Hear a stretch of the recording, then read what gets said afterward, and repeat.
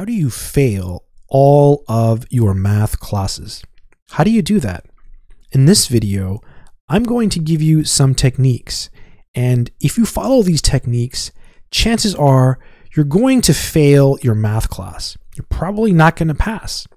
You might be wondering, why on earth would I want to fail my math classes? The answer is you probably don't want to fail your math classes. And so by watching this video, you will learn things that you probably shouldn't do because they're really, really bad.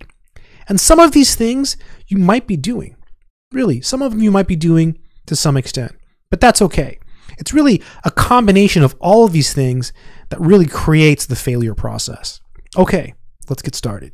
The first thing that you definitely want to do if you're trying to fail a math class is to look up all of the answers to all of the homework.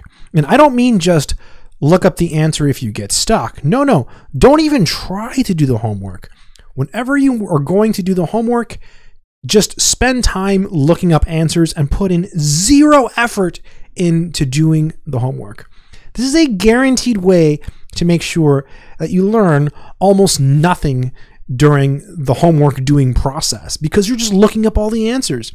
Now, some of you might be thinking, I look up answers sometimes. That's okay, right? I think it's okay to look up answers, especially when you get stuck. I mean, the internet is a great resource, but if you're trying to fail, you'll put in zero effort and you're just going to type everything into Google and look up the answers. It's a guaranteed way to make sure that you won't learn any math. The second thing that you should do if you're trying to fail a class is don't take notes ever. So if you have an online class and you're watching videos, don't write anything down. Just watch the video. If you are going to a face to face class and you have a lecture, don't take any notes. And when people ask you why you don't take notes, just tell them that you have a picture memory and they'll look at you and they will wonder. They will really wonder. I've had people tell me they have a picture memory and I always wonder about them. It's it's always a I don't know how they do it, but it's a guaranteed way down a pretty dark path, possibly headed towards failure. Now, if you really want to fail, what you can do is just skip class altogether. So who cares about the notes? You never even showed up. That's a pretty much guaranteed way to not do well. The third thing that you can do if you really are trying to fail a math class is don't study for any of the test. Put in zero effort. Just show up to the test and take it and walk out.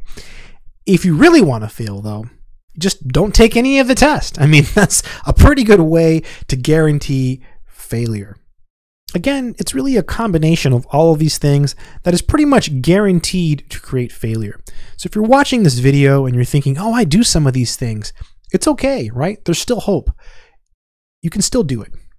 I hope this video has been helpful. Good luck.